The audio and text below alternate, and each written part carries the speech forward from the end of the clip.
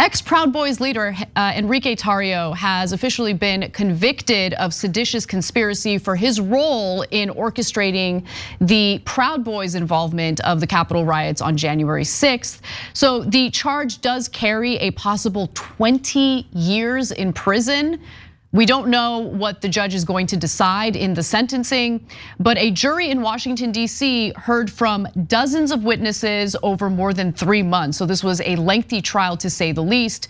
Now, Tarrio actually wasn't there on the day of the Capitol riots. Uh, he was someplace else because uh, he had been arrested two days earlier in an entirely separate case and was ordered to stay away from Washington, D.C.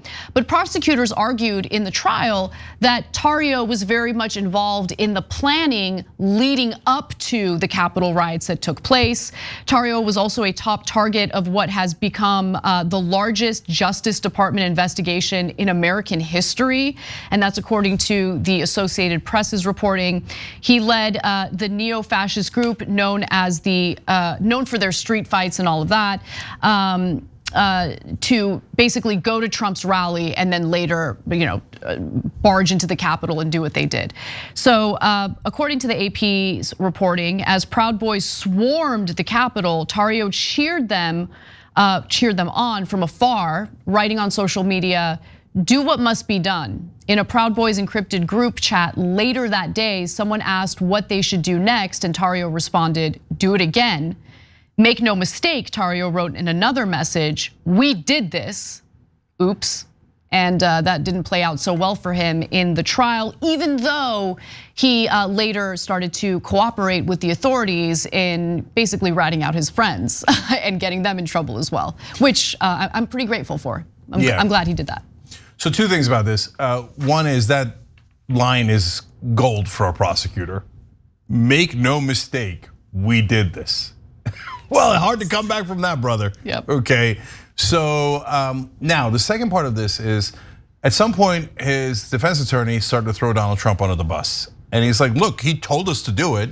He said literally on the debate stage, the whole country heard it uh, uh, for the Proud Boys, stand by, right? And so they stood by and they got ready and they thought that they were Trump's army. And the lawyer's not wrong about that. That's all of that is absolutely true. And so, and you, and they have the messages that they shared between each other, and they really thought they were Trump's army. And then when they got arrested for sedition, do you know how much Trump helped them? Zero. Zero. Nothing. Not, he raised over $200 million for a legal defense fund and didn't give them a dime.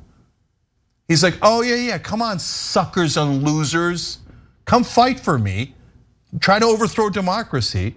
Oh, later when you, he's facing up to 20 years in prison. Yeah. When you're facing 20 years in prison, you know what I'm gonna do for you? Nothing. You're an idiot. I used you. And yet all these suckers still go along with Donald Trump. Well, yes and no, right? Because remember, when Trump was set to be indicted by Alvin Bragg, he urged his supporters to basically to protest, but we know what that means when Trump says it, right? Mm -hmm. To protest in front of the prosecutor's office. And they didn't. And I think it's because of the fact that he refused to offer any help or support after all these people, hundreds of people, ended up getting arrested for their part on January 6th, and dozens of them have already been uh, convicted for the crimes they committed.